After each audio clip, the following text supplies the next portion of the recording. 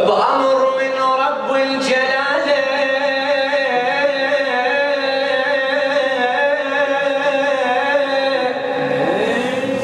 بأمر من رب الجلالة الملك أقبل بالوحي جاي من أجل الولاية.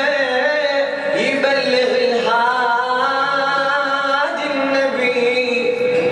يا محمد